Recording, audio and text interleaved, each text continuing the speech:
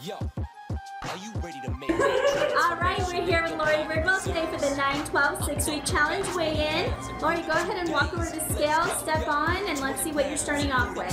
All right, 237.1. All right, we're here with Laurie Birdwell today for the 912 six week challenge final weigh in. Laurie, you started at 237.1. Go ahead and step on the scale. Let's see where you're at. Yeah, 213.1. All right, we're here with Laurie Birdwell today for the 1031 challenge final weigh in. Laurie, go ahead and step on that scale. Let's see where you're at. 190.2. All right, we're here with Laurie Birdwell today for the 109 challenge final weigh-in.